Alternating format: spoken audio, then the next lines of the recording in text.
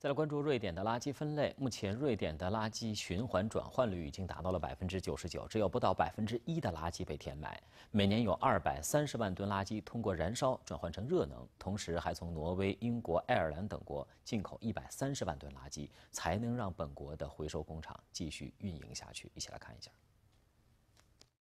现在在瑞典，人们已经习惯每天进行垃圾分类，但是在早些年并不是这样。他们曾经经历过警察协助监管垃圾分类的时代。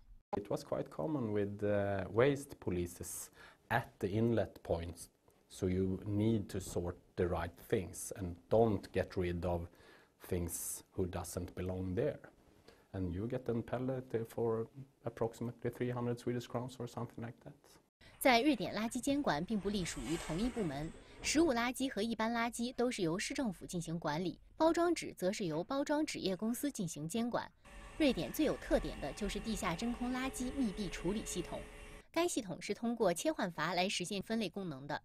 真空抽吸系统将数百个垃圾袋吹入旋风分离器中，最终垃圾袋送入容器中并被压缩。当容器装满时，再由集装箱卡车运到相应的能源公司收集。集装箱一周一次，可减少百分之九十的垃圾车运营，并且也可减少随之而来的噪音、污染等。